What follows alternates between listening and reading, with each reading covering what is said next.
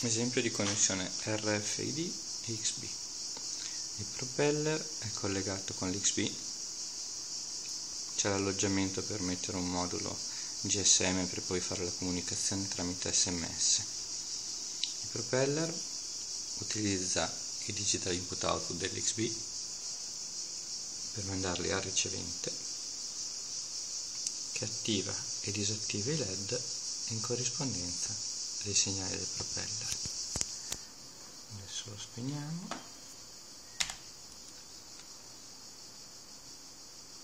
Così si vede meglio.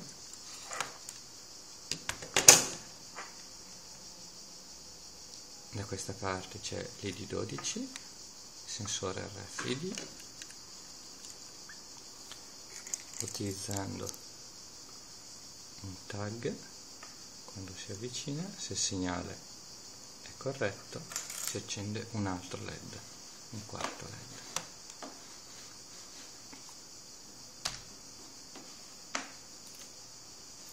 I segnali